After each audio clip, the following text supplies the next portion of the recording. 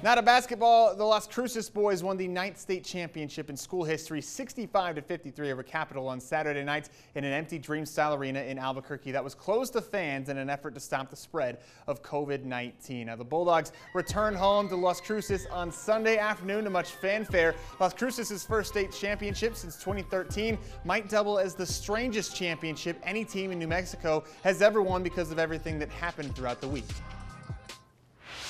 You got different circumstances going on throughout the country to where we was probably one of the only uh, high school teams to actually compete in the state championship. I know they shut down a whole bunch of different uh, venues. So, man, I think this this this this might stand out a little bit more. But I'm just, I'm just happy that we was the ones to finish up on top. Now, this could be the last sporting event played in New Mexico the rest of the school year. If it is, quite the way for the Bulldogs to go out.